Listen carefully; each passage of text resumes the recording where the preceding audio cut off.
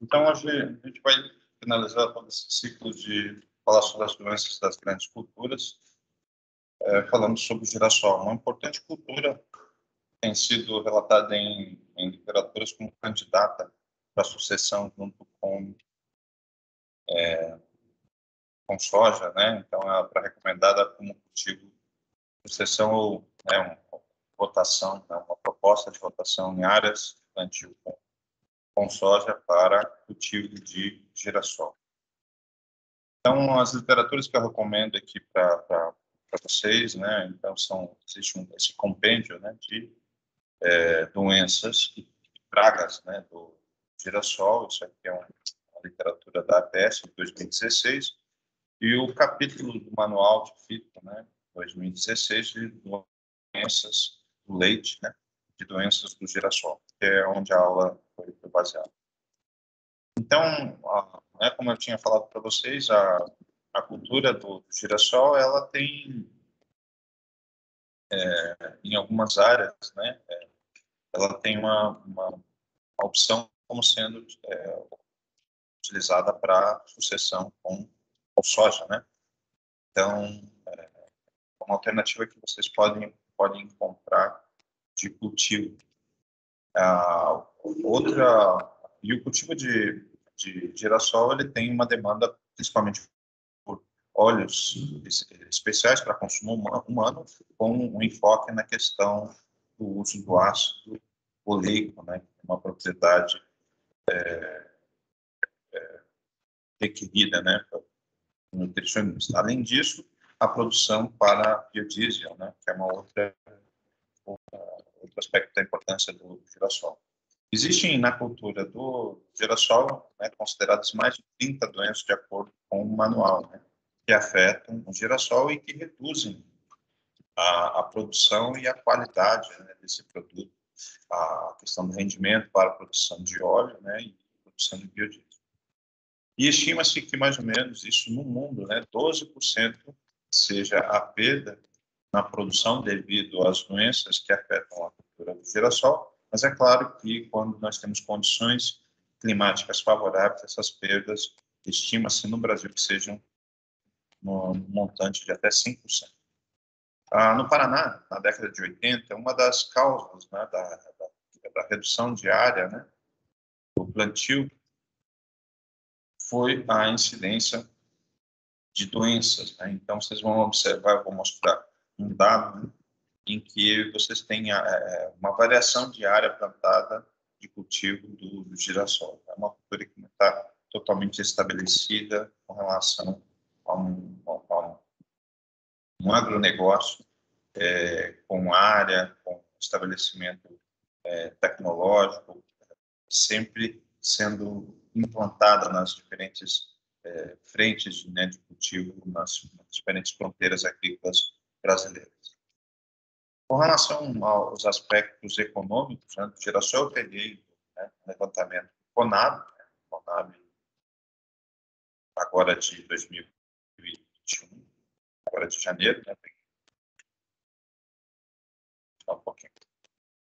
Vocês têm é, uma área plantada de 31 mil na safra de 2020 2021, de 31 mil, é, 300, 31 mil 31 milhões e 700 mil hectares plantados, plantados, e aí manteve-se essa área para 31.200 na safra 2022, né, que é essa safra atual, estima-se, né, ainda não finalizou. Mas reparem, né, quanto de área plantada que vocês tinham no ano de 2014. Então, isso tem alguma coisa dentro do setor que faz com que haja essa mudança né, de incentivo né, plantio para o girassol. Então, em 2014, você tinha 144 milhões de hectares plantados com girassol e agora com 31 milhões de hectares. É, é, uma das questões que é extremamente é, é importante falar, quando eu vou falar para vocês das doenças, né, vocês vão ver que nematóides não tem esse registro de como sendo é,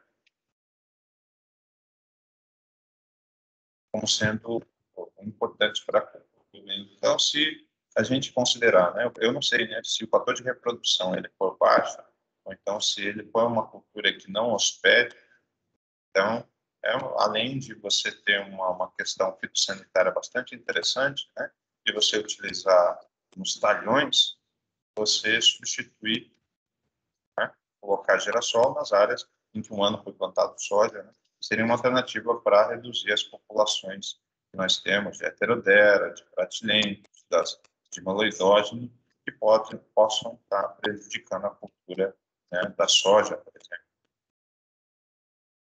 É uma, uma questão para se pensar e se pesquisar a respeito a, uma alternativa para evitar com que haja essa sazonalidade né, desses gráficos de produção de áreas plantadas com relação à cultura do girassol né.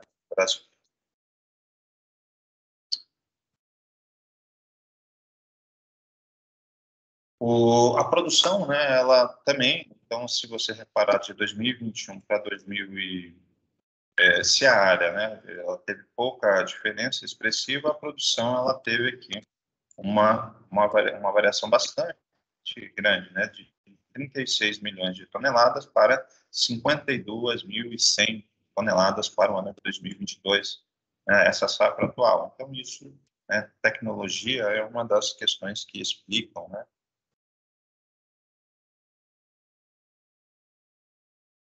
que explicam essa, essa questão de elevação de produtividade para uma mesma área, uma quase uma pequena incipiente variação de área plantada.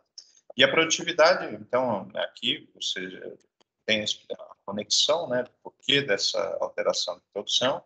Então, se no ano de 2021 uma produtividade de 1.143 quilos por hectare, aumentou a produtividade, né, é, na safra de 2022, e isso devido, provavelmente, questões de tecnologia, e aí eu puxo a sardinha, as questões, talvez um ano não favorável né, a doenças, né? Então, técnicas de manejo, questões de nutrição, questões de população de plantas. Então, todas essas questões fitotécnicas e aqui, por que não as questões fitossanitárias, né? Então, elas seriam importantes aqui para poder é, explicar a, as relações, né, essa elevação de produtividade uma mesma área de cultivo de 2021 para 2022. Então, as principais doenças são né, mais ou menos 30, e eu marquei aqui em negrito as consideradas doenças principais que afetam a, a cultura, né, que seria a, a mancha né, de alternária, e aqui a podridão branca, né, que ela é muito afetada, a podridão branca ou mofo branco causado por esclerotina, esclerotiora, que ele é, tem uma incidência atrelada a um ambiente com temperatura amena e alta umidade relativa. Além dessas, nós temos o mosaico com uma doença viral, uma doença bacteriana, a mancha e crescimento bacteriano, e a podridão de medula, que são duas bactérias, né, xantomonas e aqui o Bacteria, que causa essa podridão do talo, e aí a planta adulta ela tomba, principalmente as relações períodos muito chuvosos, vocês vão ter muito problema de podridão de medula e haste. No ano passado, em milho, você tinha também surtos de podridão de medula e haste, né? É, da cultura do milho, provavelmente também por relações de bactérias. O míldio, né, é uma doença, um parasita obrigatório, também seria uma outra doença importante para a cultura. Além dessa, nós podemos encontrar a septoriose, né, é, a septória é um fungo, é um celomiceto que tem né, um corpo de frutificação encerrado, né, uma garrafinha encerrada dentro da folha, assim como soja possui esse patógeno, o girassol também possui aqui uma apoxínia, né, um agente causal de ferrugem, a bolha branca, né, que é ou a falsa ferrugem, ou o bulbo, que ele é, pertence a um falso fungo que pertence ao mesmo grupo, né, aliás, o mesmo grupo químico que é utilizado para controle, né, de, de, de omicetos, né, então é um omiceto, ele vai ser utilizado para controle desses dois patógenos, que é o ingrediente ativo chamado metalaxil. Ah, aí você tem o oídio, né? É, você tem é uma doença também no final do ciclo. É, no baixeiro, nas folhas baixeiras, vocês vão observar a presença desse patógeno, desse pó branco na superfície. E a, a mancha cinzenta da haste, né, que a gente vai ver daqui a pouco, seria uma outra sequência de doenças mais importantes que a gente vai estudar na aula de hoje. A, a mancha preta da haste, a mancha cinzenta e a mancha preta, né, são as formas pomópsis que a gente vai encontrar, e o tombamento e podridões articulares que vocês vão ter vários patógenos, né? assim como na soja tem vários patógenos que causam tombamentos, né, podridões radiculares, podridões de polo, aqui vocês também vão ter vários agentes causais. Então, o solo é uma fonte, né? Então, os resíduos culturais são fontes, né, de que zero que a gente chama, né, da, do inóculo sobre sobre a cultura e que as podridões de capítulos, que vocês vão ter também uma variação. É claro que essa podridão né, branca que a gente está falando aqui, que afeta tanto a arte da planta, vocês vão ter também no capítulo né, a própria esclerotínia, esclerotiorum também,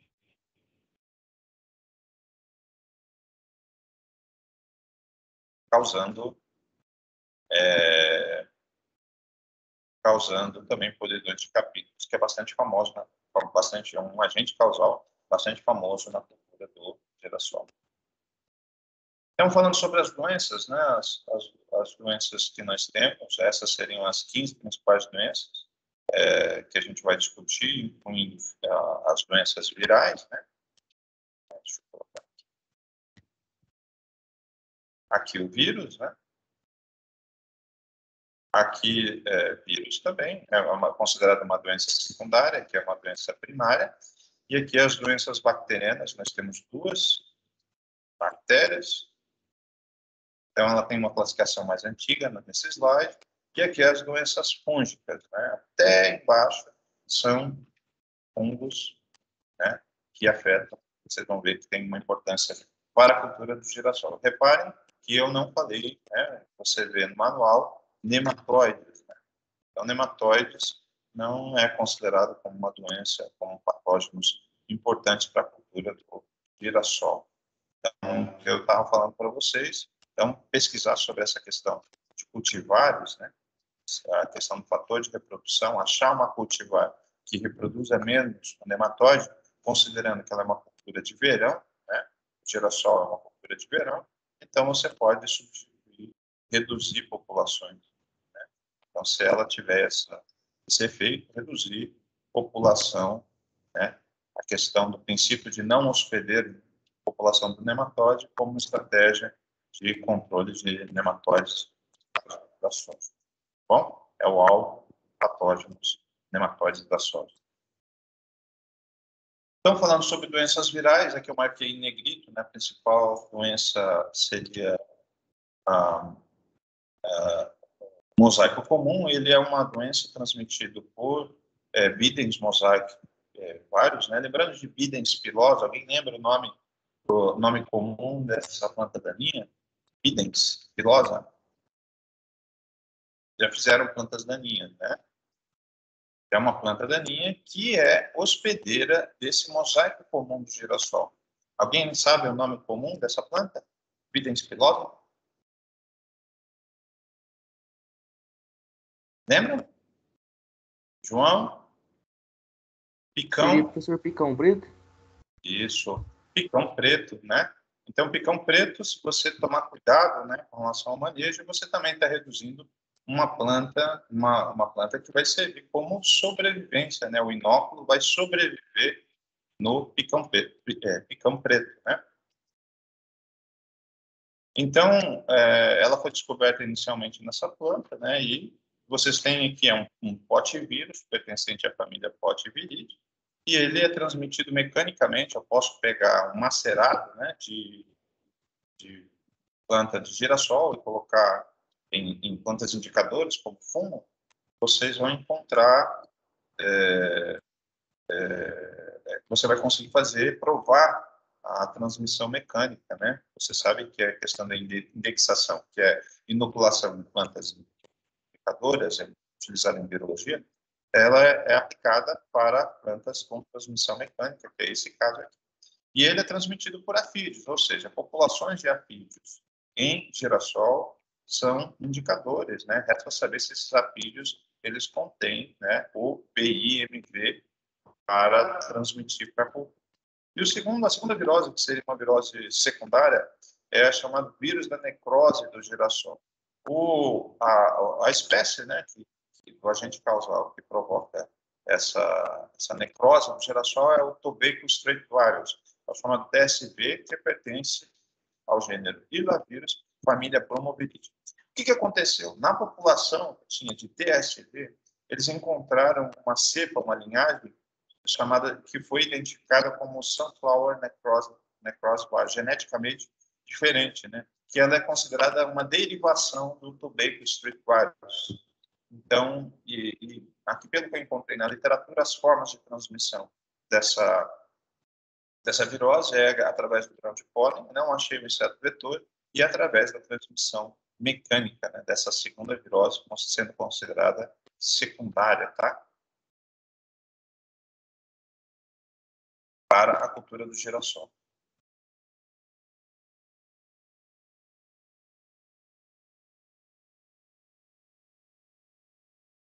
Então, essa é a primeira doença considerada mais importante. Então, aqui, o Bidens, né, o virus, ele não tem registro de transmissão por sementes, é o sintoma né, de quase como mosqueado, né? Então, lembrando que a diferença de mosqueado e, e mosaico, né? O mosaico é quando você tem é, é, as ilhas, né? Esses polígonos que são formados. Então, aqui você tem verde e aqui ela tem um, as, as regiões, né? As extremidades das lesões elas são bem definidas quando você chama de mosaico. Né? Quando ela não, não é bem definida, a gente chama de um sintoma de mosqueado, como é essa foto aqui presente. Tá? Então, ele não tem registro de transmissão por semente, a relação de, de transmissão é não persistente, ou seja, você tem um inseto, né, o aparelho bucal do inseto, a partícula viral fica aqui, ó, presente ao redor né, da picada de prova. Então, em uma relação de segundos, né, em que ela fica visitando uma planta e outra, esse, grão, esse pulgão, né, ele fica visitando uma planta e outra, ele vai transmitir para a cultura. Lembrando que ele é um inseto sugador, ele vai atrás de seiva. E aí colocou né, no, no, no, sistema vascular do girassol, e aí imediatamente a partícula se replica, né, replica por toda a planta e se transmite para a cultura. Então, aqui é um sistema de transmissão mecânica, né? Então, uma folha doente, ela, simples fato dela encostar né, de uma planta doente sobre outra, ela pode, é, a partícula pode ser transmitida. Ela tem por característica essas partículas de serem alongadas, né, se você olha a microscopia eletrônica de transmissão, MET, né, e os hospedeiros, aonde esse Q0, né, esse inóculo, ele vai sobreviver fora dos períodos de plantio do girassol, eles podem sobreviver, como eu já tinha falado, o picão preto, o picão branco e a margaridinha amarela, a ervilha e a alface, né? Então, a grande maioria desses hospedeiros, eles são o quê? Pertencem a uma família botânica. Então, você sabe que o girassol pertence à família Astrácea, né? Que é a família do, famosa do alface. Então, elas têm esse capítulo. Então, muitas plantas pertencentes a, esse, a, esse, é, a essa família vão ser hospedeiras desse patógeno, tá? Aqui a segunda, considerada uma doença secundária, é o vírus da necrose do girassol.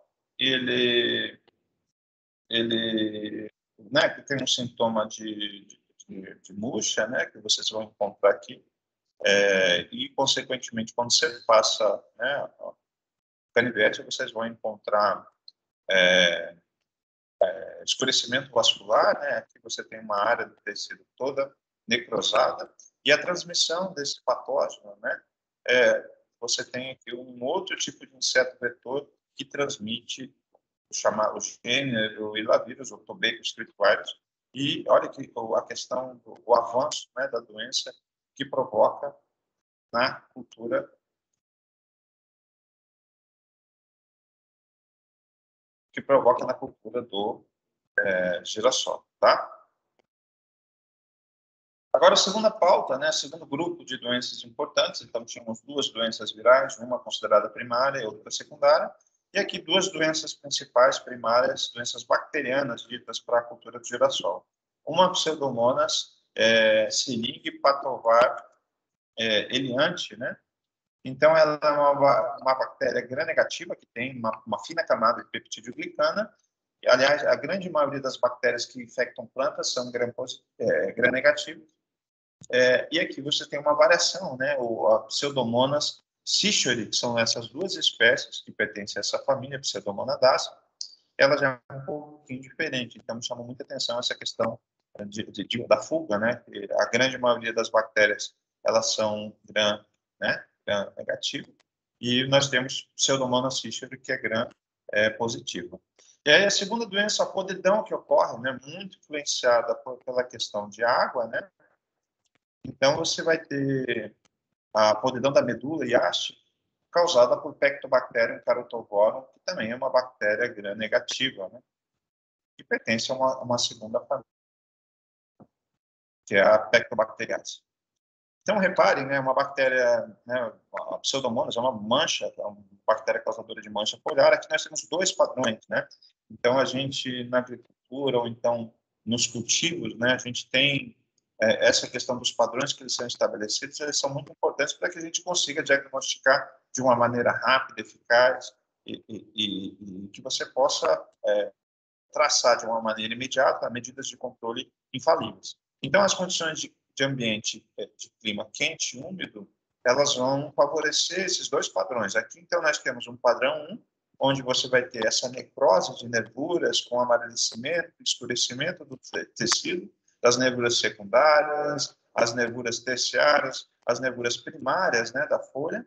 E aqui vocês estão vendo já um sintoma mais clássico de manchas foliares meio que arredondadas, de, de causando esse crestamento. E o que, que é o crestamento? O crestamento é isso aqui, ó. É essa união, classicamente essa união dessas várias lesões né, que vocês estão encontrando no tecido. Isso é o que caracteriza a, o sintoma de crescimento, união dessa esse é, essa confluência que vocês vão encontrar das lesões. Né? Então, vocês têm as manchas, e aí essa confluência é o que a gente chama de crestamento. Tá? É, então, ela pode ser transmitida pelas, por sementes, né? Então, é, é uma forma de transmissão dessa, dessa bactéria. E uma forma de detecção é utilizar um meio de cultura, né, chamado King B, onde essas bactérias elas vão produzir um pigmento fluorescente. É, como que o professor eu vou ver? Então, vocês vão ter uma placa de Petri, vão colocar né, a bactéria para crescer, e aí vão colocar uma luz ultravioleta, um UV. Existe uma lanterna em laboratório que a gente põe, e aí ele vai brilhar. Então, eu vou pegar girassol. Ah, eu suspeito que isso aqui seja pseudomonas. Então, eu vou pegar isso aqui, vou fazer asepsia superficial, vou macerar esse tecido, o esfregaço eu vou riscar na placa contendo meio King B. Depois de dois dias, três dias, eu vou olhar sob a luz UV fluorescente. E aí, se ele brilhar, significa que é pseudomonas siringue, né, que é a característica de você utilizar. O meio oxidase, né, é, oxidase positivo, né, é, para pseudomonas cichuri, e oxidase é um teste né, bioquímico é, negativo para Pseudomonas syringe, né? É, Pseudomonas syringe patovareliante vai ser é, uma reação diferente. Então, essas seriam marcadores, o, o teste de oxidase seria um marcador para diferenciar essas duas bactérias é, do ponto de vista de diagnóstico. A segunda doença bacteriana que nós temos, então, vocês vão ver as podridões moles, elas são clássicas quando a gente fala de hortaliças, né? A gente, é, que é a próxima pauta que, que nós teremos.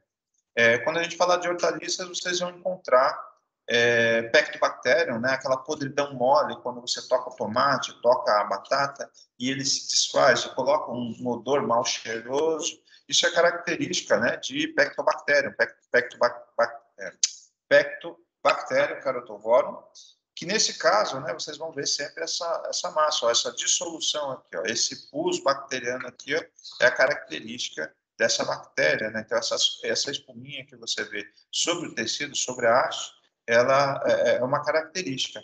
E Pectobacterium, eu falei é, é, em outras culturas, por exemplo, como goiaba, vocês vão encontrar lá, também existe uma Pectobacterium que tem esse padrão de vir nesse, nesse sentido ascendente, do broto para, é, para as extremidades, como a gente vê nessa ilustração.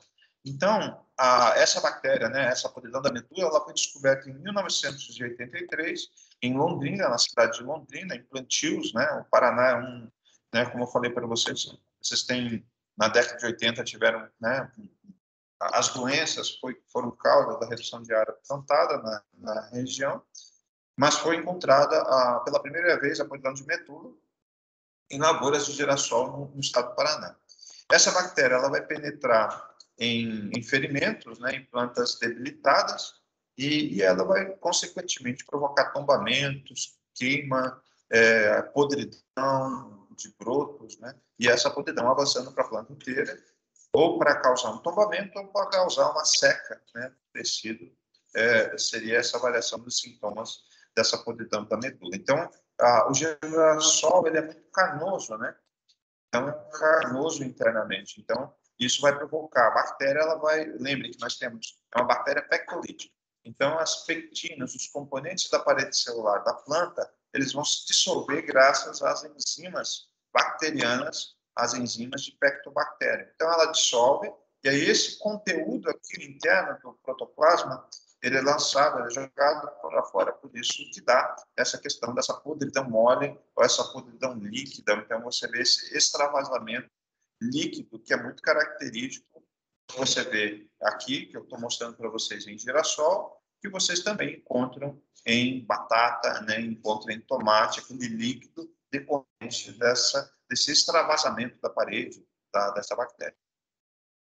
E agora, para a gente finalizar, nós temos 11 doenças, né? 11 doenças consideradas importantes fúngicas, das doenças é, que afetam o girassol, é, e aí nós temos, em primeiro lugar, como eu tinha já colocado para vocês, as consideradas doenças principais seriam é, a mancha de alternária é, e, em segundo lugar, aqui a podridão branca ou o mofo branco. Vamos falar sobre a mancha de alternária. A mancha de alternária ela tem vários agentes causais em que 2007 ele, ele passou por um é, 2000 e, passou por uma descoberta de uma nova espécie dentro desse complexo, né? e que foi essa aqui, alternariaster eliante. Aqui na escola a gente encontrou isso, esse, esse alternariaster.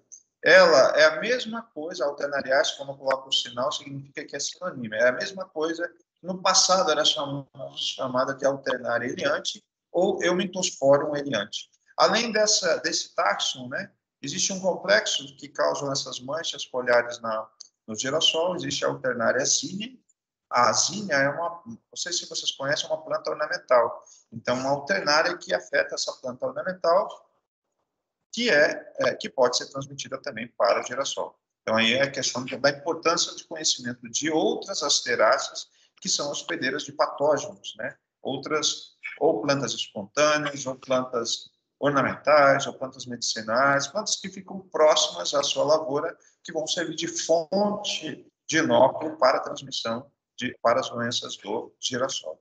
E aqui a terceira alternária, né, a alternária alternata, né, e todas essas espécies pertencem à família Leptosphaeriaceae. O mofo branco, né, Sclerotina sclerotiora, né, pertence à família Sclerotiniaceae. O míldio, né, como eu tinha falado para vocês, é, o agente causal Plasmopora halstead. Na soja também tem o míldio, né, Peronospora é, é, Alguém lembra a espécie do, do míldio da, da soja? Manchúrica, né? Peronospora manchúrica. E aqui ele pertence ao grupo dos oomiceiros, tá? Então, dois grupos, né, dois fungos que nós temos aqui que pertencem ao grupo dos oomiceiros. A, a falsa ferrugem, né,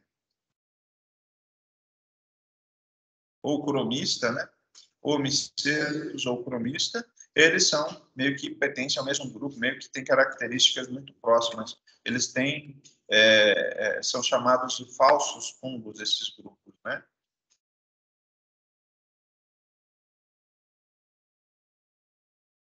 Então, agora continuando, a septoriose, né, como poderia falar, o próprio nome está falando, septória iliante, a ferrugem, né, também uma puxinha, então vocês vão observar que o teleósculo dele ele é bicelular desse patógeno, né, que é característica do gênero é, né. A, a, a, recentemente, isso eu, eu busquei hoje de manhã, então houve uma alteração do nome, né, no passado, o gênero, a espécie que provocava, vamos, vocês ainda vão ver, não é, no manual, né, 2016 aqui, de leite, vocês vão ver falando como sendo é, Albuco tragopogones, e na verdade ele mudou recentemente, e agora a mancha branca, ou a falsa ferrugem, o gênero, né, é, a espécie que causa, do agente causal dessa doença é chamada de pústula tragopogones, então é um nome que foi a, a, a, alterado recentemente. Então, eu fiz essa vistoria de todos esses nomes é, para passar é, os agentes causais mais é, com a denominação mais atualizada. O EIDIO, Erisiphe cichoracearum, né?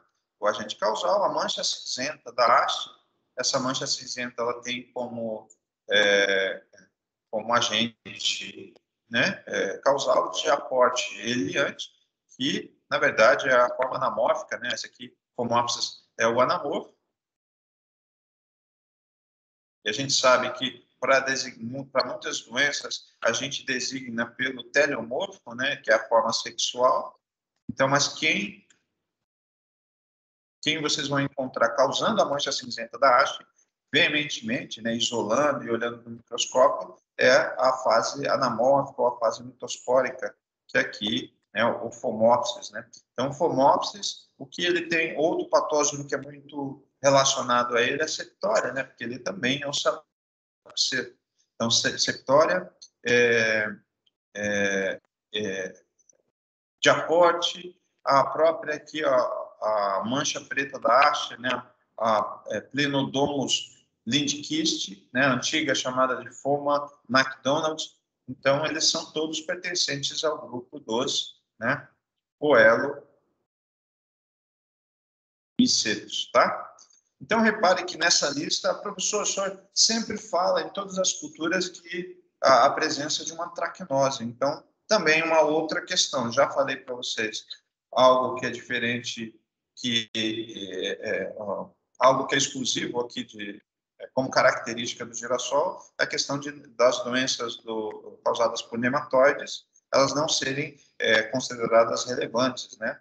E outra, outra questão aqui é as antracnoses, que nas culturas elas têm grandes relevâncias, importâncias para a cultura do girassol, vocês também não veem ela como sendo uma doença importante para o girassol, tá? Então, a mancha preta causada por Plenodomus é, lindquist, ele também, eu alterei isso, eu peguei hoje, né, alterei essa listagem, corrigi, os slides.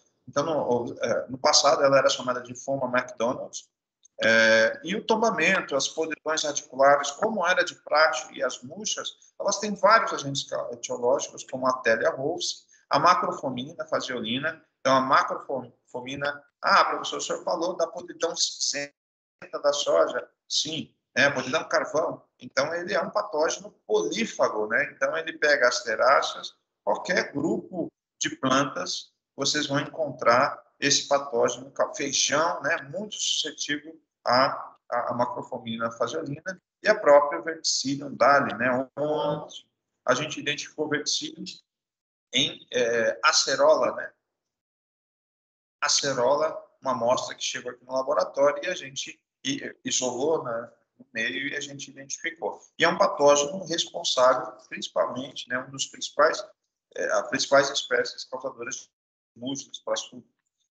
E a podridão cinza do capítulo, né, o Motrite é, cinérea, né, lembrando que eu já falei para vocês lá na aula de mamona, né, que é o patógeno das inflorescências, tá?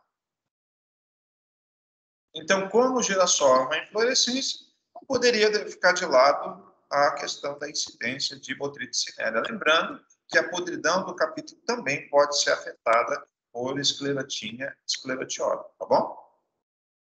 Então, vamos ver que essas lesões que vocês estão vendo com halos cloróticos, né, é, confluentes, elas são chamadas, né, a, a, chamada mancha de alternária, que tem complexo do alternariaster, né, eliante, alternariazine, a alternária alternata, essas três espécies que podem provocar essas variações de sintomas, né, sintomas né, como as lesões maiores ou lesões mais diminutas, né.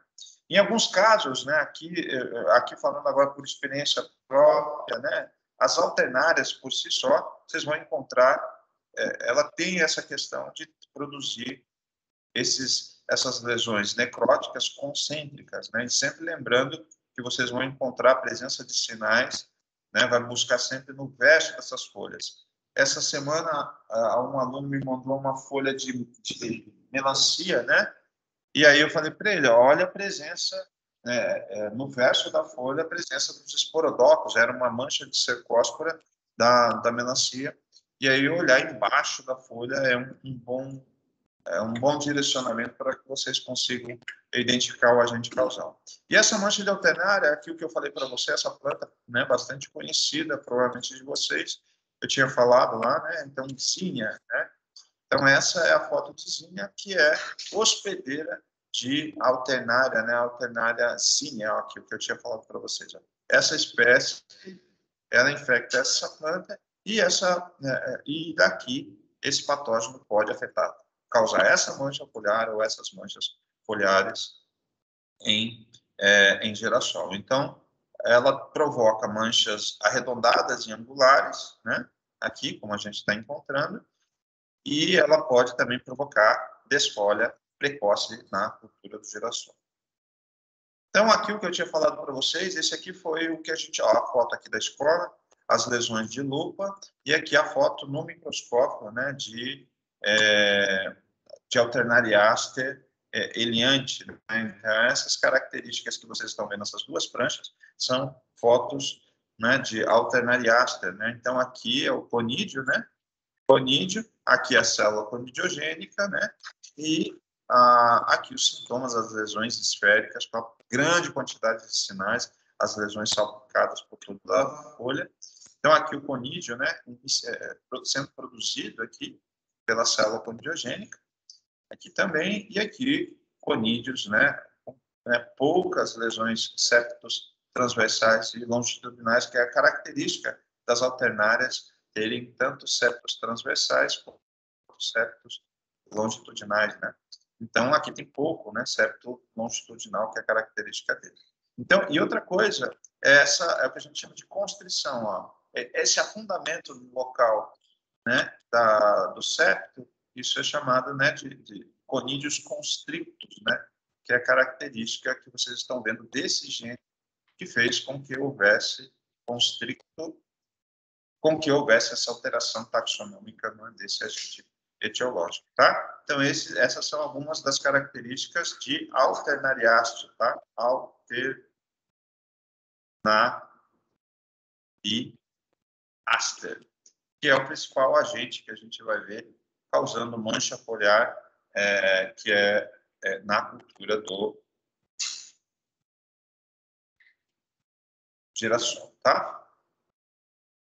A segunda doença fúngica, considerada importante, as podridões do colo, que vocês têm lá por vários anos a sobrevivência do, desses microesclerócios, lembrando que eles sempre têm lá uma fase miceliogênica, né, que pode ficar atuando, e quando você tem um período do ano que tem é, uma temperatura mais amena, esses micro esses escleróides aqui, eles podem germinar e formarem o que a gente chama de apotécio, né?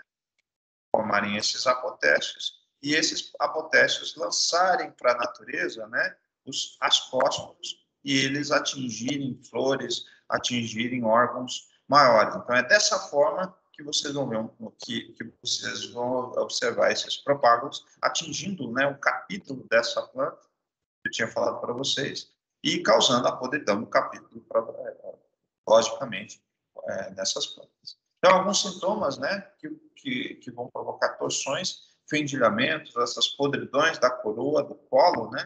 Do colo da cultura do, é, do girassol. Né? Então, é, a presença sempre desses escleróides vão sempre, vocês já são aptos a identificar o mofo branco, né? A identificar a esclerotina pela presença desses microesclerócitos, assim como vocês vão ser, são aptos a identificar doenças do tipo ídio, a questão daquela pulverulência, né? É, sobre a cultura, tá? É, então, outro marcador de padrão que eu tinha falado para vocês é essa questão de alternarioses, né? É o fato de você conseguir encontrar sempre. É, é claro que em alguns casos você vai ter uma complicação, mas as alternarioses, essas lesões esféricas e concêntricas, são características, isso também da mancha de alternária. Então, vocês têm aqui um vestígio, né? É uma carta na manga que vocês, como agrônomos, podem ter. Então, vão anotando isso e vão tentando fixar isso na memória, na cabecinha de vocês e tentando utilizar isso para as culturas. As cercosporiosas, né, que vocês vão encontrar, já vão ter lesões também salpicadas, redondas, e muitas delas elas têm halos. Alguns halos eles são arroxeados, alguns halos são amarelados, né, cloróticos, então, essas lesões que vocês veem, né, a mancha olho de rã, né, nas folhas das plantas, também é um outro marcador para vocês poderem reconhecer doenças do tipo cercosporiose. Então, façam essa pergunta, é, é, tentem utilizar esses marcadores, né, que a gente falou de várias culturas, para que vocês consigam, é, é, pelo menos, ter um, né, é, um, como se fosse uma relação de de detetive e, e, tentando des, é, desvendar um determinado mistério, desvendar um assassinato, né? Um, um, agente etiológico, já que aquilo é microscópico, é mais ou menos esse é o tipo de trabalho que vocês, como agrônomos, têm que fazer, né? De vocês analisarem vestígios, analisarem padrões, e muitos desses padrões, alguns, é, obviamente, a gente precisa de algo mais apurado, de uma técnica de diagnose mais apurada, mas alguns desses padrões, eles são é, úteis para você para conseguir reconhecer e identificar esses problemas. Então aqui é o que eu tinha falado para vocês, como que o micélio vai avançar, né, colonizar, expandir pelo tecido para a parte aérea, né? Então ele pode ter esse padrão, assim como vocês podem ter um lançamento aéreo, né, de é, ascósporos, que seria a fase que eu estava falando para vocês, a fase é, ascógena. Então, a, o ciclo né, das ferrugens, é, desculpa, o ciclo do mofo branco ou da podridão branca que afeta o girassol, ele tem um, um ciclo miceliogênico. Então, esse ciclo, que é o ciclo miceliogênico? Então, o, o escleróide germina, forma um micélio e infecta a planta, e o segundo ciclo, ele pode ter um ciclo é, é, carpogênico, né, que seria aqui sexual, aqui assexual, né? Então, é, e lembrando que através é, o carpogênico nada mais é que a germinação dos escleróides que vão formar, né, o apotécio e lançar para a natureza, né, os fósforos e aí atingindo órgãos mais mais altos, né, mais elevados. Um feijão é, é a flor do feijão é afetada por, por esse processo, tá? Aqui, a, a, esse mesmo, a, da mesma forma que eu estava falando para você. Parasitas obrigatórios, vejam, analisem comigo. Não é lucro para eles matarem né, de, de uma maneira imediata as culturas. Então, reparem aqui, ele está provocando um dano, existe uma área de tecido aqui clorótica, e é o mesmo padrão. Esses dias eu botei no Instagram umas fotos de míldio da soja. É o mesmo padrão que tem na soja. Então, ele desenvolvendo aqui sobre, é, sobre as nervuras né, do tecido, é, e você sempre vai encontrar uma grande quantidade de, é, de sinais do patógeno na face abaxial, tá? Então, na face abaxial, vocês vão encontrar a grande quantidade dessas estruturas que vocês estão vendo, que são representadas né, por é. Então, isso aqui é o que a gente chama de esporangióforo, né? que sustenta as estruturas reprodutivas, né? Então, isso aqui ó, é esporangiófilo e presa né, nesses elementos pontiagudos aqui, ó, são as esterigmas, né?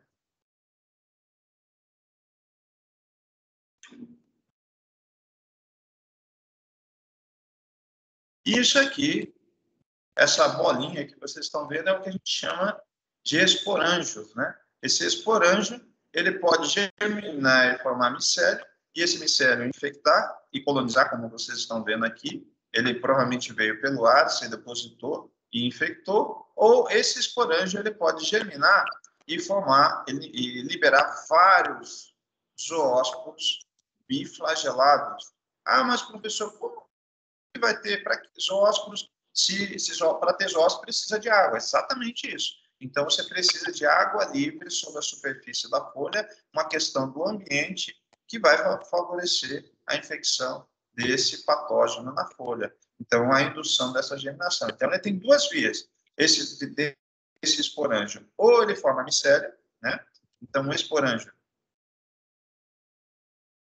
ou ele vai originar micélio, quase muito parecido ao que a gente estava falando agora há pouco sobre esclerotínia, né? Só que aqui ambos são estruturas assexuais, ou eles vão originar o que a gente chama de zoósporo.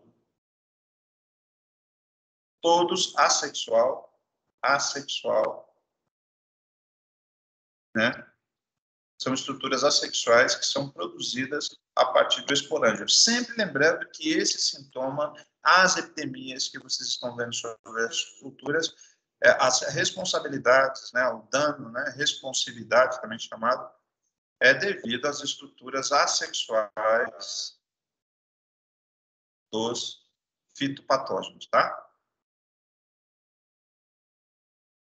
Aqui vocês vão ver o picão preto. É, isso, olha que interessante. Eu vi isso aqui na escola, perto ali do prédio da, da matemática. Descobri é, pela primeira vez identifiquei, né, a, essa plasmópora Halstead sobre é, essa planta hospedando. Então, picão preto hospedando também, ou seja, é, a gente chama de fonte de inóculo, né?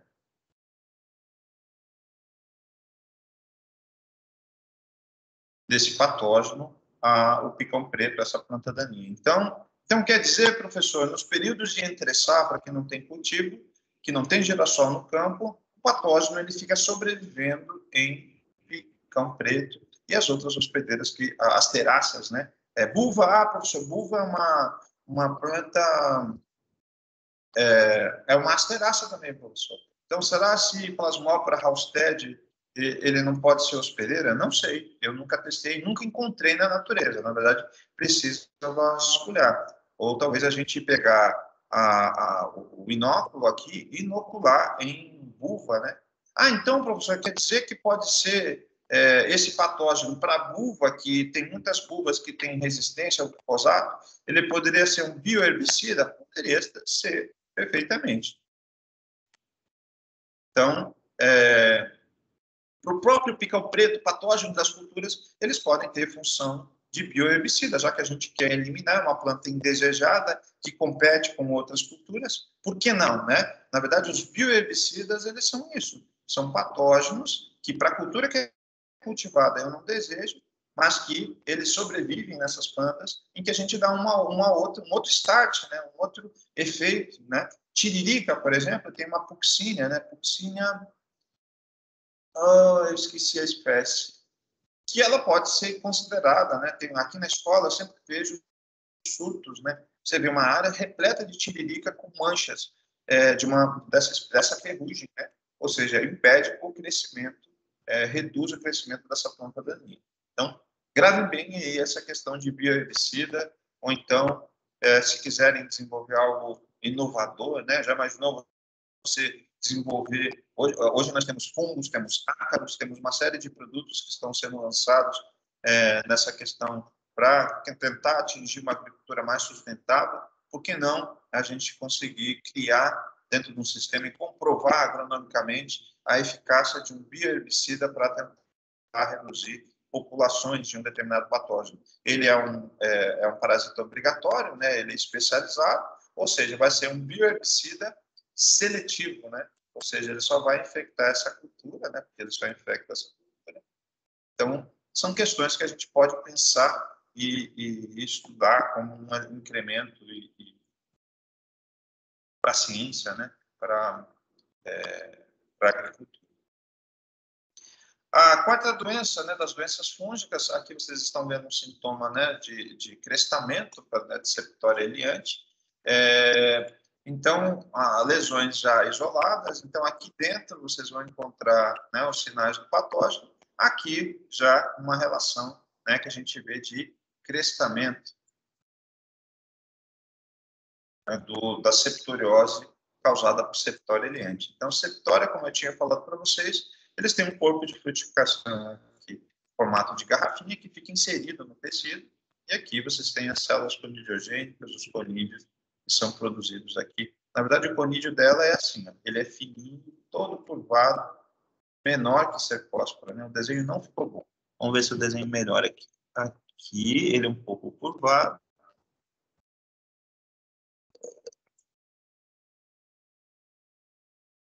E aí, todo septado nesses né, conídeos. Acho que no próximo slide o professor vai mostrar para vocês as características desse, desse patógeno. Né? Então, todas as aulas eu sempre dou, é, sempre tento mostrar para vocês os sintomas e os sinais e tentando estabelecer esses padrões. Ah, professor, qual o padrão de septoriose?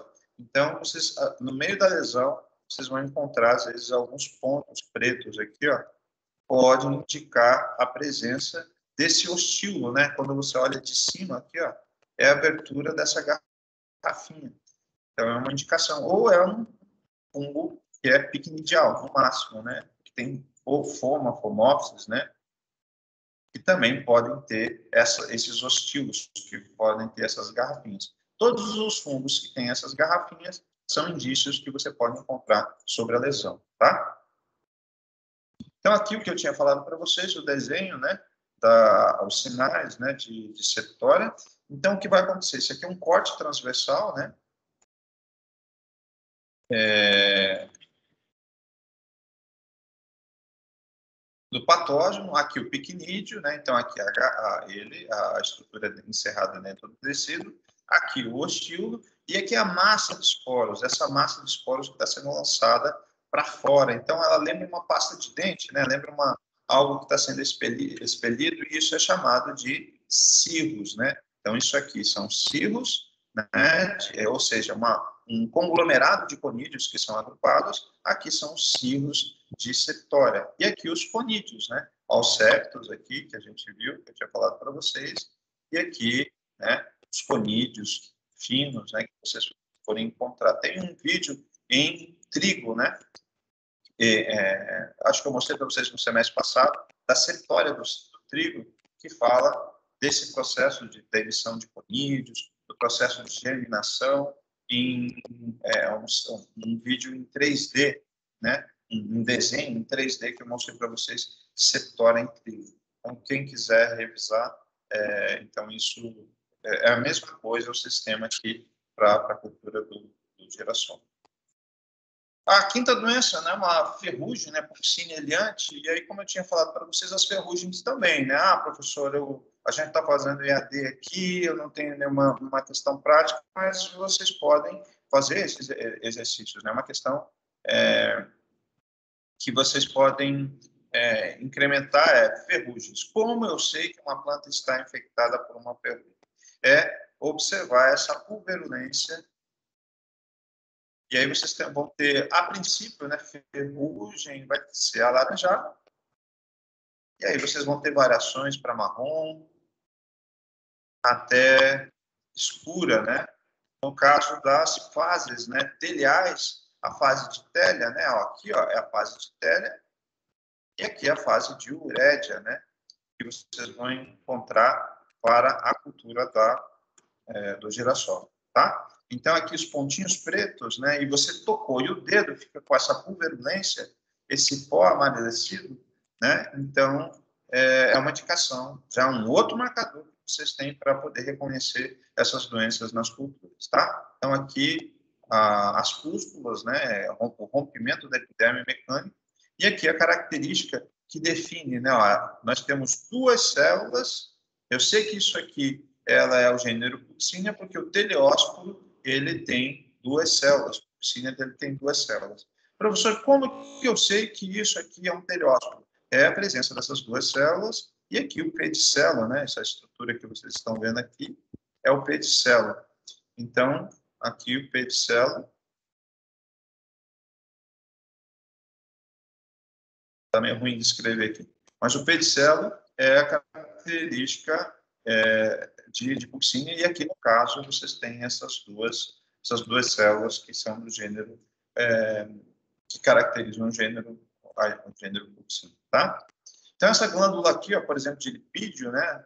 Isso aqui é um elemento de reserva, já que isso aqui é uma estrutura de sobrevivência, é um elemento de, de, de reserva para esse esporo para que momento em que ele vai ficar, vai enfrentar um inverno, vai entrar um período hostil, vai entrar um período em que não vai ter a planta de girassol, ele vai ficar sobre qualquer superfície. E depois, quando a, a hospedeira for plantada de novo, ele pode cair, o vento pode bater e voltar a, a epidemia, esse teleósporo voltar a germinar e desenvolver de novo os ciclos, ou um ciclo na própria hospedeira, né, ciclo homoécio ou ciclo heteroécio, em hospedeiras diferentes. Né? Na verdade, o teleósporo germina forma basídia, basídia forma basidiósporos, basidiósporos vão formar pícnea, né? ou, ou espermáceas, as espermáceas vão formar essiósporos, e esse, esse ósporos vai formar o ciclo da urédia, isso seria o ciclo de uma ferrugem chamada macrocíclica. Tá bom? Então, aqui, o que eu estava falando para vocês é, vocês podem ter, no caso da, da, da ferrugem, aqui ó, uma folha onde a fase de éstio está sendo desenvolvida em, é, em um hospedeiro diferente. Né? Quando a fase de éstio é num hospedeiro diferente, então a gente chama né, de uma, uma, um ciclo chamado heteroéstio, tá? Então, aqui a fase teliósporo, não esqueçam, era de marrom, a negra é a característica e, é, dessa fase. Então, uma pulverulência negra significa que a planta está desenvolvendo a fase telial, tá? Às vezes, vocês podem ter no, no centro, né, um, a, a, fase de urédia e ao redor produzirem, não sei porquê, essa arquitetura, vocês produzirem a fase de télia, tá? A télia é a fase sexual ou de sobrevivência e a fase de urédia é a fase assexual ou que causa a epidemia, né, que causa o dano, né, as perdas na cultura, é essa fase. A, a, os fungicidas, geralmente, eles vão ter uma ação para controle dessas ferrugens sobre essas plantas. Então, lembrando que ferrugens, a principal forma de controle é através de fungicida, na, aqui na, na, na cultura do algodão, ou através de materiais que sejam resistentes, né? Vocês vão procurar resistência ou de germoplasma. Então, para algumas culturas, vocês têm em cima do banco de germoplasma ou através de plantas que são transgênicas, né? Então, vocês têm transgenia como uma solução. Né? Se aqui você não consegue encontrar genes de resistência atuantes para inibir né, ou reduzir os danos provocados por essa fase é, então vamos procurar, vamos tentar é, colocar é, é, genes né, que, que, possam inibir o processo de infecção a, e cortar o ciclo das relações patógenas no hospedeiro da cultura do, é,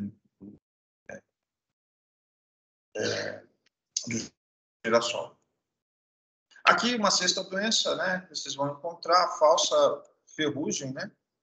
É, ou bolha branca, é, que também ressalto, né? Eu gostaria de chamar. Olha que interessante, essa alteração que houve deu o nome de um sintoma. A gente sabe que as ferrugens elas têm um sintoma de pulso, tanto as ferrugens verdadeiras como as falsas ferrugens. Nesse caso aqui é chamada de falsa falsa ferrugem. Por quê? Porque ele não é, ele é um fungo que pertence a um grupo completamente diferente. Aqui dentro, ele tem um esporanjo, e dentro desse esporanjo ele tem um zoósporo biflagelado, ele é um homiceto, ao contrário do que a gente mostrou anteriormente, que é um vazio de homiceto, as ferrugens verdadeiras. E ele também, olha, tem um sintoma em que na, no verso da folha eles vão, ele vai romper, ele vai quebrar a epiderme dessa planta, por isso que é chamado de falsa ferrugem. Ele tem um sintoma muito parecido. E essa, esse sintoma que é parecido com uma ferrugem, ele recebeu o mesmo nome, né? O gênero do fungo recebeu o mesmo nome de pústula, que é o nome do sintoma típico dos fungos causadores de ferrugem. Só para complicar a cabecinha de vocês. Mas bulbo tragopogones provavelmente é o que vocês vão encontrar maior quantidade de publicações e recentemente mudou para pústula tragopogones, o nome da falsa ferrugem ou da bolha branca que afeta o girassol. Então aqui vocês estão vendo as manchas e provavelmente os sinais, os esporângios, o próximo slide vai aparecer, eles vão estar na, na face adaxial. Tá? Então, aqui. Então, vamos lá. Então, agora, considerando os sinais né, desse fungo, é, o que, que acontece? Ele, é, esse fungo ele produz em cadeia esses esporângios. Vocês viram lá do peronóspora, o míldio, agora há pouco, esse aqui é meio que um primo irmão do míldio. Então, ele vai produzir vários esporângios que eles são todos em cadeia. Ó, esporângio, esporângio, esporângio, né? É, esporângio. E dentro desses esporângios, né? Aqui, esporângio. Dentro desses esporângios, quando eles se diferenciam, eles vão dar origem aos zoósporos. E esses zoósporos, eles são, assim, biflagelados. E o que, que é isso aqui, professor? Isso, essa estrutura aqui ó, é a célula que vai dar origem ao esporângio. E esse esporângio que é produzido em cadeia, né? Então, essa célula é chamada de célula esporangiogênica. Esporangiogênica, tá? Então, aqui nós temos várias células esporangiogênicas que vão dar origem a essa produção né, que essa é a característica da, do, do, gênero Pústula tragopogones ou albuco, né, que é a espécie, o gênero mais conhecido, que é esporângios em cadeia. E, professor, eu não sei o que é esporângio em cadeia. É isso aqui, ó. É ele ser, ser é, produzido assim em série, um empilhado ao outro, como vocês estão encontrando aqui, ó. Isso aqui é o sistema de produção que é característica desse gênero ser produzido em cadeia. Tá bom? E a sétima doença está quase acabando, né? É, erisifes cichoracearum, né? Então, é, também, eu, eu, acho que é, é, impossível vocês não conseguirem. No máximo, vocês podem ter confusões, como eu já falei para vocês, com o caso das cochonilhas, né? Já vi várias situações que vão ter, que é um inseto que provoca né, uma estrutura esbranquiçada sobre o tecido, sobre as nervuras, mas esse pó branco que você vai tocar, então a característica dos oídios nas culturas, e o oídio, não, o oídio do girassol não poderia ser diferente, é a questão desse pó branco, né?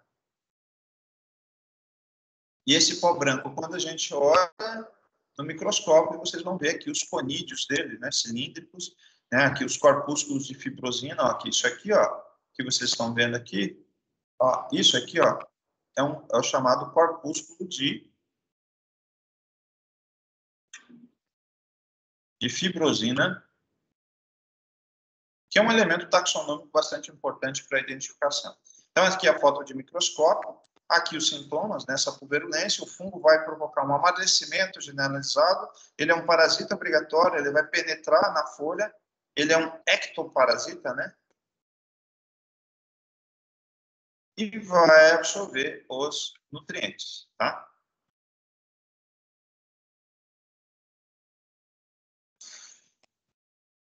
É, aqui o conídeo emitindo o tubo de penetração, né? É, dele.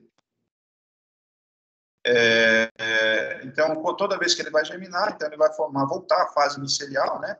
Então, quando ele germina, o primeiro micélio, né, a primeira hifa que ele se forma, a gente tem um nome específico, que é chamado de tubo de penetração. Depois ele se prolifera e forma várias hifas, e um conjunto de hifas forma micélio, tá? Aqui a mancha cinzenta da haste, né, o que tem como agente causal, né, de aporte, é, é, eliante, mas o que vai realmente provocar o sintoma na cultura né, dessa mancha cinzenta é o Phomopsis eliante. Phomopsis, a característica dele, eu já falei para vocês, né, para outras culturas, eles têm dois tipos de conídeos, né, chamados de alfa e beta conídeos. Alfa conídeo e beta conídeo, que é a característica dele. Então, ele provocando essa torção, né, você vai ver a planta né, causando, tendo esse, esse problema no tecido. Então, aqui também né, um sintoma né, de, de um crestamento por toda a folha, provocada pela mancha cinzenta da haste. Aqui, ah, vocês vão ver né, a questão do tombamento, como eu tinha falado para vocês. Então, como ocorreu o apodrecimento. É, e aqui, ah, como é um patógeno que afeta né, esse caule, vai prejudicar a vascularização, então vocês vão ter um sintoma. Essa folha, isoladamente, ela pode ser uma questão, uma indicação de déficit hídrico, né? Porque ela, você vai ver a, a seca da ponta, né, avançando para as extremidades, né? Na verdade, quando você vê, né, é, esse padrão, né, seguindo, né, da ponta para cá, significa que algo está acontecendo em que não está chegando água para ser distribuída para toda essa folha. Devido ao quê? Devido ao patógeno afetar a vascularização, esse contato né, do sistema é, radicular com a parte aérea da cultura. Tá? A, a mancha cinzenta, tá? É, a mancha cinzenta da haste, causada por diaporte eliante, ela é, é, o agente etiológico também, né? E aqui vocês vão ter outra espécie, um outro Phomopsis. E como eu falei para vocês, esse Phomopsis é, aqui a forma anamórfica, né, a fase assexual aqui. Então, aqui é só a ilustração né, do é, alfa-conídeo, né, que é isso aqui que vocês estão vendo, né, que é mais filiforme, às vezes ele é mais um pouco mais curvado. Então, no meio, na placa do Petri, eles vão ter essas é, mucilagens que vão ser sendo produzidas. Aqui é o, a frutificação dele, né, porque ele é um fungo é, é, picnidial, e aqui a massa de conídeos. Aqui, olhando no microscópio, isso aqui, vocês vão encontrar essas estruturas, ou corte da, da frutificação, aqui a célula conidiogênica, conídeo, vocês vão conseguir observar. Aqui o que eu tinha falado para vocês, né, eu corrigindo, né, eu, eu, eu errei, o beta-conídeo é o, o, filiforme, né, como está aqui, né, então esse aqui é o, é o beta-conídeo. E aqui né, um formato mais elíptico, né, o alfa-conídeo, né, que vocês vão encontrar, é, que são os dois tipos de esporos típicos do gênero Phomopsis. Phomopsis sempre vai ter esses dois tipos de conídeos sendo, estando presentes na, nas culturas. Então, aqui o corpo de frutificação, as células, né, as áreas né, do imênio né, para produção, ele tem um pseudotércio, e esse é o ciclo anamórfico, né, que provoca, que é responsável basicamente pela mancha cinzenta da árvore. E além disso, quando a planta de girassol morre, ela vai desenvolver o ciclo sexual. E aqui é o que a gente chama de ciclo teleomórfico. Então, ele vai formar é, a asca, né? E aqui os seus ascósporos no seu interior. E aqui essa estrutura aqui, né? Na verdade, daqui para cá é a, a fase do ciclo teleomórfico. E daqui para cima é a fase do ciclo, né? Aqui é a fase do ciclo anamórfico, né? E que é, epidemiologicamente é essa fase que é importante para a cultura do girassol. Aqui a mancha preta da haste, né? Então ela tem a coloração, né? Uma variação de coloração. Mas é claro que você pode ter é, diferenças, então é sempre importante checar através de ou de lupa, lâmina ou isolamento, de cultura. A mancha preta da haste, ela tem aqui um fungo que é um foma, então foma característica o que que é essas bolinhas aqui, né? Isso aqui são os corpos de frutificação, né, de, de que é um fungo que recentemente mudou, e é por onde os esporos saem, né? Então aqui é o ostilo por onde o conídeo sai de dentro do corpo de frutificação, tá? Então aqui ah, o picnídeo, e o que, que é isso aqui, professor, essa mucilagem que tem. É uma massa de conídeos que é eliminada e que sai por essas aberturas do picnídeo, né, por essas aberturas ostiolares ou do ostio. Isso aqui é uma definição do tecido, né? organização da arquitetura do tecido é, fúngico, é, e aqui as células conidogênicas né? e os conídeos de, é, de plenodomos é, né? É, que causa a mancha preta da haste. Né? Essa, esse sintoma de mancha preta em da haste em girassol. E, por fim, né, a gente quase finalizando, né, é, nós temos é, vários patógenos que são responsáveis pelos tombamentos no, no girassol, ah, como ah, as podridões, né, é, como a Rhizoctonia solane, que a característica dela é a questão da ramificação ortogonal da IFA, então é no microscópio que a gente vai ter uma definição mais, é, mais assertiva. Aqui, né, mudou o nome dele, né, a Télia é o gênero, né, Atelia Rolfs, que é responsável pela podridão de esclerócio, né?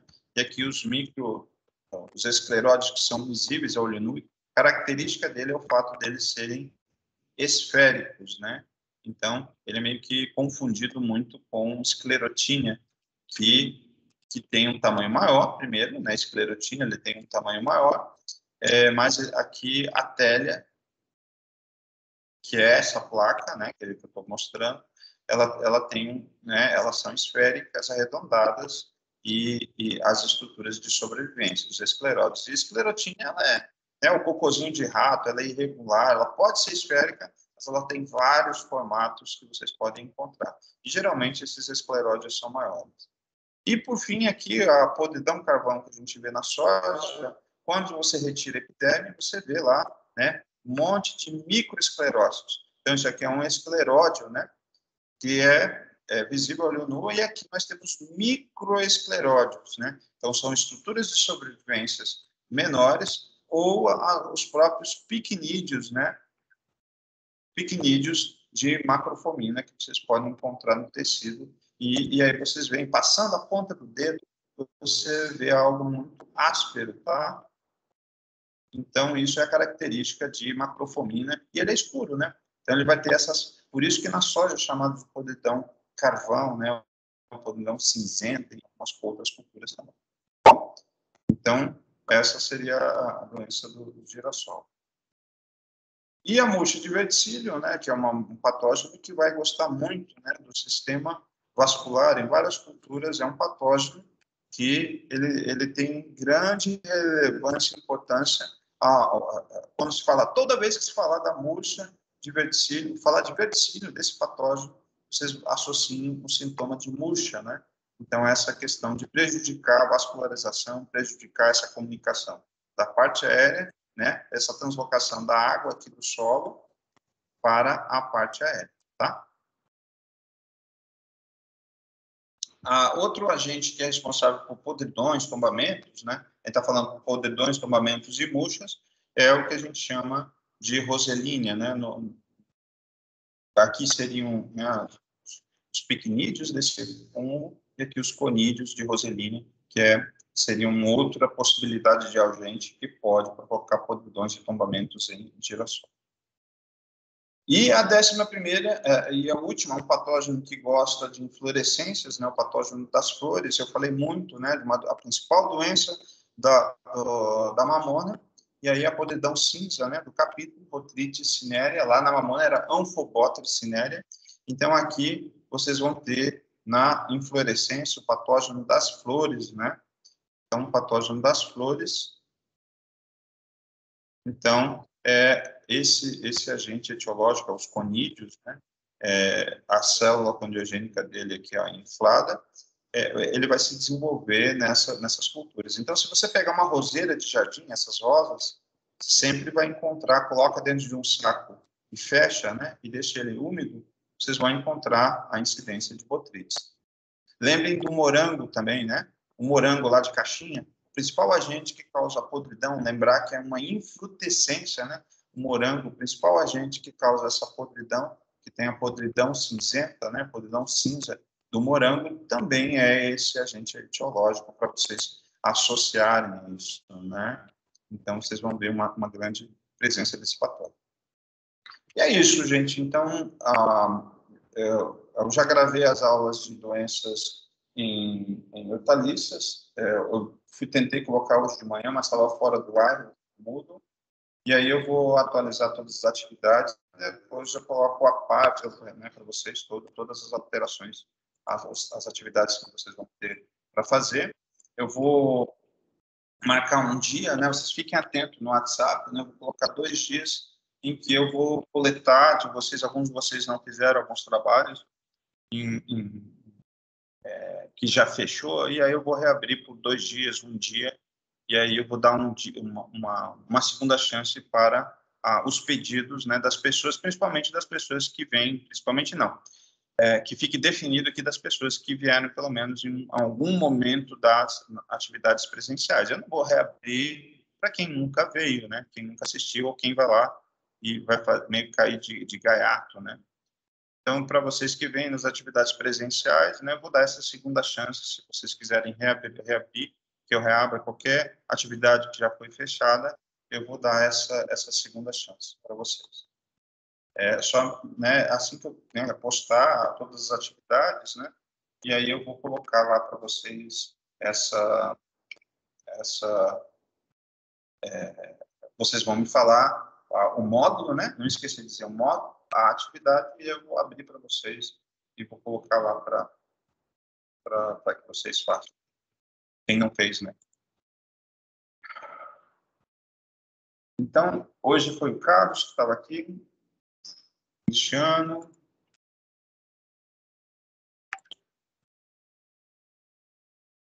o João Vitor e o Michael.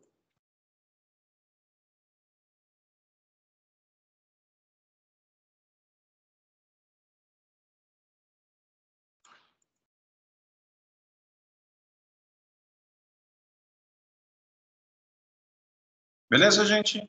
Tem alguma dúvida sobre doenças do girassol? Então, ela é um, é um, um grande, estrategicamente pensando, uma cultura muito interessante, né? Como ocupação dessas áreas de, de soja, né? Que a gente tem para cultivo. É, substituição né, de áreas de soja por cultivo né, de verão por, é, pelo uso de, de girassol. Sobre retorno, né, em março, quando retornarem as aulas, é, muitos alunos têm perguntado para mim, eu já falei, me coloquei para vocês, a gente ainda, eu perguntei ontem para a Adriana, a Adriana me mandou um e-mail dizendo que a gerente, né, a minha chefe, dizendo que também não tem nada muito certo sobre o retorno presencial, mas o que eu entendi, mandaram ontem à tarde um e-mail da reitoria, nesse e-mail falava que ia continuar devido a essas questões dessas variantes, devido a essas questões de vacinação, né, de, de, você não ter uma segurança né, com relação a tanto é, da comunidade para você infectada, já que vai ter que é, se, se, agrupar. Então, provavelmente vai ainda continuar esse sistema misto, né, que a gente chama um sistema híbrido, que a gente chama da faixa amarela. Foi que eu coloquei lá no, no grupo que eu queria aproveitar para explicar para vocês, tá? Então, se tiver alguma outra alteração até o início do semestre de março, né, em que 100% das aulas serão presenciais, eu vou colocar para vocês, é, coloco lá para vocês, mas até onde eu sei, até onde aquela, né, se vocês leram aquela mensagem que eu coloquei lá no grupo, do, dos alunos, é, vocês ainda continuarão tendo aulas é, é, nesse sistema misto, né, onde uma matéria ou outra é, será presencial e, e podendo ainda serem as aulas serem ofertadas no sistema remoto. É, eu tinha marcado, né, João, é, ontem, é na, na, quarta, na, na segunda, né, da gente ir para o campo, né, mas na, na, segunda deu uma chuva, né, acho que foi à tarde que deu. É, se a gente não conseguir, eu não sei qual dia que vocês dispõem, se vocês quiserem, vocês, eu tenho duas reuniões amanhã, é, de repente na sexta, ou de manhã ou à tarde, se vocês quiserem combinar comigo, vocês combinem entre vocês, e a gente vai para o campo fazer algum tipo de dinâmica em cima das culturas, em cima das alterações, em cima das sintomas, em cima de padrões, né? É, e aqui eu mostro algumas coisas que eu tenho aqui no laboratório, é, de isolamento, de diagnóstico, de detecção, que, que tem a ver com, com, o universo, né, dessas interações que a gente tem das doenças de plantas. Também é, me proponho, né, eu sei que eu entendo perfeitamente toda essa angústia que todos vocês têm, principalmente dentro da disciplina de fito, que tem uma carga horária prática bastante é, é, bastante expressiva da, da importância né, de tocar nas coisas, da importância de vocês me acessarem, né, em cima de questões, de problemas reais e aplicados, né.